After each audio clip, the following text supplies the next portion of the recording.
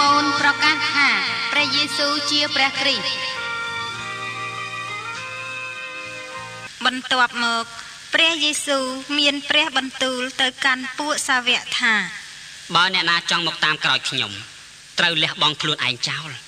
ត្រូវលីឈើឆ្កាងរបស់ខ្លួន ហើយមកតាមខ្ញុំចុះត្បិតអ្នកណាចង់បានរួចជីវិត អ្នកនោះ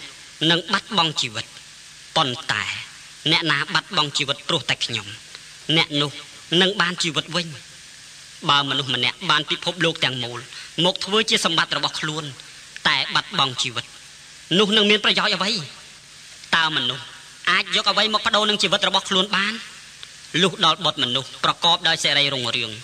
ព្រះបិតារបស់ព្រះអង្គយាងមកជាមួយពួកទេវទូតរបស់ព្រះអង្គព្រះអង្គនឹងប្រទានរង្វាន់ឬដាក់ទោសម្នាក់ម្នាក់